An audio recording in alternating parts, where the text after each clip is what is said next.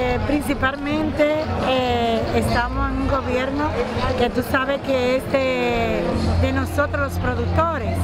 O sea, él sabe que nosotros los productores necesitamos ayuda, que necesitamos mucho, principalmente los productores de huevo, los productores de pollo. Eh, usted sabe el problema del cerdo que a la hora y lo de plátano también, o sea, los agricultores, especialmente como yo que soy agricultora, soy avicultora y soy pasicultora. O sea que necesitamos mucha ayuda del gobierno y que no se olvide de nosotros, que él sabe que nosotros somos de él.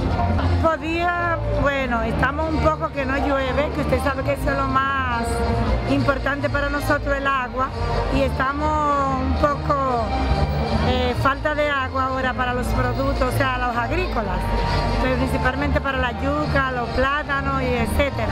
Finalmente, ¿tú crees que el productor se ha ido tecnificando, que hay avance en cuanto a la tecnología para...? Claro que sí, claro que sí, que estamos bien, estamos avanzando.